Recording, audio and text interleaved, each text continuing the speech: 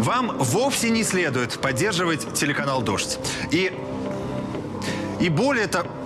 И более того, я могу рассказывать новости без стойки. Это даже как-то удобнее. И если не работает звук, информацию можно показывать жестами, так нагляднее. И если нет картинки, тоже можно все рассказать слово, никто не отберет. Просто в какой-то момент, если вы не будете поддерживать телеканал «Дождь», на вашем телевизоре будет просто черный экран.